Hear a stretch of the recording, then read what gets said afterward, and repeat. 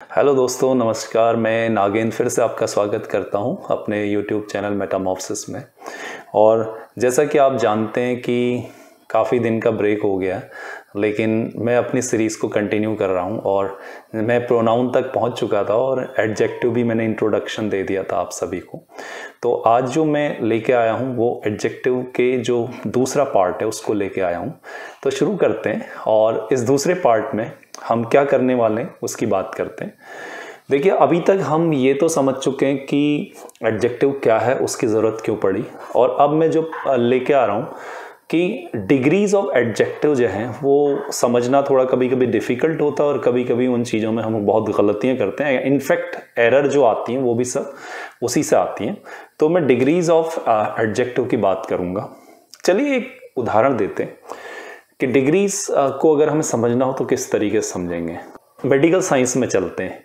मान लिया, जिन दिनों कोरोना जो है डिज़ीज़ फैली हुई थी और या फिर कोई भी अगर आपको अपने अंदर एलिमेंट्स को पकड़ना है तो डायग्नोस करना होता है तो उसके लिए ब्लड टेस्ट करते हैं। मान लिया मलेरिया है या कोरोना है, और अगर आप ब्लड टेस्ट करते हैं तो पता ये चलता है कि अगर उसके ब्लड के अंदर, उसके वायरस हैं या वो पॉजिटिव है तो वो होता है कि उसको वो बीमारी है, नहीं तो नहीं। तो इसका मतलब उस वायरस का या उन चीज़ों का वहाँ मौजूद होना भर पॉजिटिव होना होता है। यानी कि कोई अगर रोग हमारे अंदर मौजूद है तो वो पॉजिटिव निकलता है ब्लड टेस्ट में। ठीक उसी तरीके से वो ऐसी क्वालिटी जो दूसरे से डिफ्रेंशिएट कर रही हो, आपको पता है कि वो एडजेक्टिव होती है। तो अगर वो डिफ्रेंशिएट करने वाली क्वालिटी मौजूद भर है, उसकी मौजूदगी है वहाँ पर, अगर वो प्रेजेंट है तो उसे कहेंगे हम पॉजिटिव डिग्री जैसे, अगर मैं सीधे सीधे कहता हूँ he is an intelligent boy तो इंटेलिजेंसी उसके अंदर मौजूद होने के संकेत हैं। इंटेलिजेंसी उसके अंदर पॉजिटिव है तो इसका मतलब वो पॉजिटिव डिग्री है। तो किसी भी एडजेक्टिव का, जो किसी पे प्रेजेंट होना वो है पॉजिटिव डिग्री क्योंकि वो प्रेजेंट है, कुछ ऐसा डिफ्रेंशिएट करने वाला उसके अंदर प्रेजेंट है तो पॉजिटिव आया है वो टेस्ट में।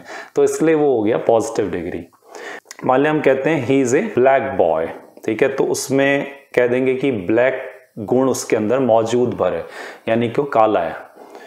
अब जैसे ही हम दूसरी डिग्री की बात करते हैं तो आपको यह समझ में आ गया कि मौजूद होना किसी क्वालिटी का, जो दूसरे से उसे डिफ्रेंशिएट करे, वो है पॉजिटिव डिग्री अब हम एक बात और कर सकते हैं कि मान लिया आप दो लोग हैं और दोनों में कुछ मौजूद है कॉमन और उनको कंपेयर कर रहे हैं कि वो दोनों में जो मौजूद है कॉमन वो किसमें ज़्यादा है और किसमें कम है। तो वो हो जाती है कंपेरेटिव डिग्री उसमें दो लोगों के कॉमन क्वालिटी को हमें ज़रूर कंपेयर करना होता है। जैसे मैंने अभी कालेपन की बात की थी तो मैं कहूँगा कि he is more black than him तो इसका मतलब ये हो गया कि वो ज़्यादा काला है उससे। अब ये काला जो है, वो क्वालिटी दोनों में है, लेकिन ये उसके कंपैरिजन में ज़्यादा है। तो ये हो गई कंपेरेटिव डिग्री जैसे अगर मैं कहता हूँ, सिर्फ़ कि वह अच्छा लड़का he is a good boy तो अच्छेपन की क्वालिटी पॉजिटिव है उसमें। All right this is positive degree good boy लेकिन जैसे ही मैं दो लोगों के अच्छेपन को कंपेयर करूँगा so it will be he is better than his friend तो अपने दोस्त से वो थोड़ा ज़्यादा अच्छा है। अच्छेपन की क्वालिटी को दो लोगों में कंपेयर करें तो यहाँ पर कई जगह वो चेंज हो जाता है। गुड का बेटर फॉर्म हो जाता है। और जब किसी चीज़ में कोई क्वालिटी इतनी अधिक हो दुनिया में सबसे ज़्यादा हो, फिर उसके सामने कुछ भी ना टिके तो वो होती है सुपरलेटिव डिग्री सुपर वर्ड ही अपने आप में उसको सुपर बना रहा है। तो उसके बाद उस क्वालिटी के अंदर फिर कोई डिग्री नहीं हो सकती। तो अगर मैं कहता हूँ कि वो अच्छा है, वो उसके मुकाबले बहुत अच्छा है, लेकिन अगर मैं सुपर सुपरलेटिव की बात करूँगा तो मैं कहूँगा वह सबसे अच्छा है। He is the best boy of the class या is the best boy in the world तो यहाँ पर बेस्ट के सामने कोई नहीं है फिर। तो वो जो शुरू में सिर्फ़ पॉजिटिव था, किसी के अंदर सिर्फ़ मौजूद भर था गुड वो पॉजिटिव था। जो दूसरे से उस गुडनेस को कंपेयर करने लगा, वो कंपेरेटिव था। और जो उसके बराबर कहीं था ही नहीं, वो सुपरलेटिव है।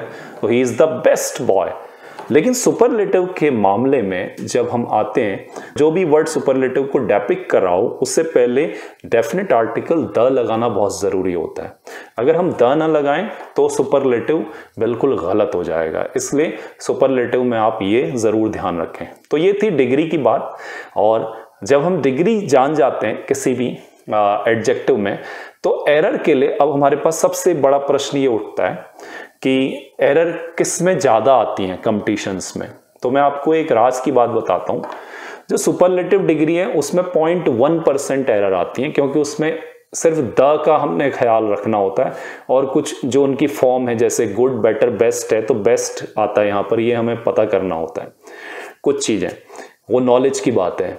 अगर हम पॉजिटिव डिग्री की बात करें तो उसमें भी पॉइंट वन परसेंट गलतियाँ आती हैं एरर्स तो फिर ये एरर्स एडजेक्टिव में आती कहाँ से हैं? तो सारी एडजेक्टिव के एरर्स जो हमें घुमाती हैं या हमें मात देती हैं, वो सारी एडजेक्टिव के एरर आती हैं कंपेरेटिव डिग्री से। और जैसे ही हम कंपेरेटिव डिग्री को खोल के पढ़ना चाहें तो ग्रामर की इतनी बड़ी बड़ी किताबें, भयानक किताबें और उसमें लिखे हुए लो रूल्स लगातार one two three four five six so on और वो रूल्स पढ़ते पढ़ते हमारा सर चकराता और हम सोचते हैं, यार, कौन सा पढ़ें, कौन सा ना पढ़ें? तो हेयर इन मेटामॉफ्सिस यही बात अलग है कि हम लोग हर चीज़ पे बहुत ज़्यादा रिसर्च करते हैं। तो मैंने रिसर्च की और मैंने जब देखा तो मैंने देखा कि रूल्स को ज़बरदस्ती घुमा के और ज़बरदस्ती तोड़ मरोड़ के ज़्यादा किया जा रहा है और बच्चों को घुमाया जा रहा है। अब मुझे तो कंपटीशन प्रिपेयर करना है तो मुझे स्मार्ट वर्क करना है। तो स्मार्ट वर्क करते हुए मैंने फील किया कि इन सारे रूल्स को मैं अगर निचोड़ दूँ तो सिर्फ़ पाँच या छह रूल ऐसे हैं जो पूरे कंपेरेटिव डिग्री को कमांड करते हैं। बिलीव मी कि मैं सिर्फ़ आपको छह रूल से पूरा एडजेक्टिव की कंपेरेटिव डिग्री कमांड करवा दूँगा एग्ज़ाम के लिए। और सारे एग्ज़ाम में से जो क्वेश्चन आएँगे कंपेरेटिव डिग्री उसी में से आएँगे। पिछले पेपर उठाइएगा, उसी में से होंगे। जो आए हैं, उसी में से होंगे और जो आएँगे, वो भी उसी में से आएँगे। तो ये आपको मेरी गारंटी है। तो उन रूल्स को मैं आपको बताना शुरू करता हूँ। और उन रूल्स में आज मैं आपके सामने सिर्फ़ दो रूल्स की बात करूँगा और तीन रूल्स अगली वीडियो में लेके आऊँगा। तो दो रूल की बात करते हैं तो चलिए शुरू करते हैं। कंपैरेटिव डिग्री में जब मैं शुरू करता हूँ तो सबसे पहली बात ही आती है कि कौन सा रूल सबसे ज़्यादा कमांड करता हो किसमें हम कंफ्यूज होते हैं। देखिए, एक रूल ऐसा है जिसको हमने ज़रूर समझना चाहिए। जनरली क्या होता है कि जब हम कंपैरेटिव डिग्री लाते हैं तो दो लोग होते हैं, मैंने आपको बताया। लेकिन कंपैरिजन में दो लोग होना ही ज़रूरी नहीं, कभी ऐसा भी तो हो सकता है कि आप ही इंटेलिजेंट भी हो सकते हैं और आप ही एक म्यूजिशियन भी हो सकते हैं। आप भी एक स्पोर्ट्स पर्सन भी हो सकते हैं, आप एक पोएट भी हो सकते हैं। तो अगर दो पर्सन ना हो के पर्सन एक ही हो, लेकिन उसके अंदर की दो क्वालिटी कंपेयर हो रही हो। फिर से देखिए person is one and there are two quality of one person तो एक पर्सन है, उसकी ही दो क्वालिटी है। तो एक पर्सन जो है, उसकी दो क्वालिटी में एक ये क्वालिटी एक ये क्वालिटी इनके बीच में कंपैरिजन हो रहा है। फिर से सिचुएशन समझिए। सिचुएशन ये नहीं है कि ये राम है, ये श्याम है। बल्कि सिचुएशन ये है कि ये राम है और इसी के अंदर की अपनी दो क्वालिटी के बीच में कंपैरिजन हो रहा है। जब ऐसा कंपैरिजन आए तो हमें हमेशा ध्यान रखना चाहिए कि कंपैरिजन किसके बीच में हो रहा है। जब ऐसा कंपैरिजन आए कि एक ही व्यक्ति की दो क्वालिटी को डिफ्रेंशिएट किया जा रहा हो when we are differentiating two qualities of a single person और we are comparing two qualities of a single person of an individual तो उस समय क्या होता है? उस समय जो जनरली कंपेरेटिव डिग्री में आप हमेशा ई e आर लगाते हैं, वो ई e आर हट जाता है। जैसे, अगर मैं ये कहूँ कि दो क्वालिटी में कंपेयर कर रहा हूँ और मैं कहता हूँ Mohan is fairer than intelligent ठीक है? Mohan is fairer than intelligent तो मैं अगर ये कहूँ कि मोहन गोरा ज़्यादा है बजाय इंटेलिजेंट होने के कंपेयर करने के लिए एक और सेंटेंस देखते हैं। अगर मैं ये कहूँ कि she is fairer than polite तो यहाँ ई e आर आया है, जो कंपेरेटिव डिग्री को बता रहा है, और कंपेरेटिव डिग्री में देन लगता है। ये मैं बताना भूल गया था तो आपको कंपेरेटिव डिग्री में देन भी लगाना पड़ता है। तो she is fair than polite का मतलब she is single person individual और उनकी दो क्वालिटी है, एक फेयर होना, यानी गोरा होना, दूसरा पोलाइट होना।